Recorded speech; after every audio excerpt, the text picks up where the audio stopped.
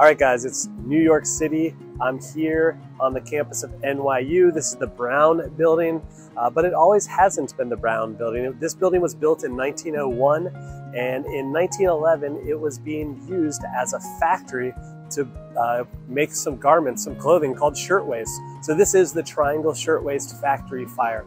It was owned by two guys named Blanck and Harris, and on the day of the fire, the 8th, 9th, and 10th stories caught on fire. 146 people died, 123 women and 23 men.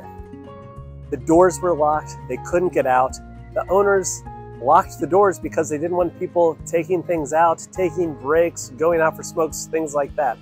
And they ended up getting sued.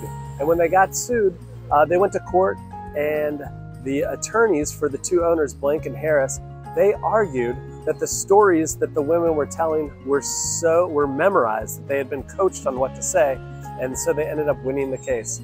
Uh, they took they they sued them in civil court, and they ended up losing that one. So each of the victims' families got seventy five dollars.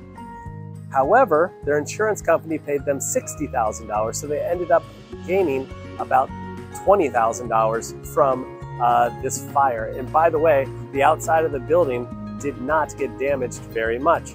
As a result of this, the New York State Legislature passed some laws, and so that's when we started having some of the labor reforms, safety and labor reforms that you find in buildings today. A lot of those started because of the devastating fire that happened here March 25th, 1911. It was a Saturday at about 4.40 p.m. So anyway, hope you enjoyed that, and I'll see you soon. Take care.